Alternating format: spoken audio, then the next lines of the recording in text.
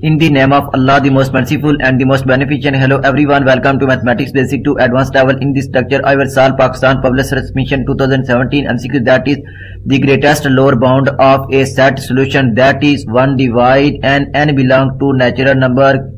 Greatest lower bound 0 does not belong to set 1 5. The greatest lower bound 1 belong to set so option C is correct. That is may or may not belong to the set. If you like my lecture then please subscribe share like and press bell icon for latest update on my youtube channel. Thanks for watching my youtube lecture. Okay allah hafiz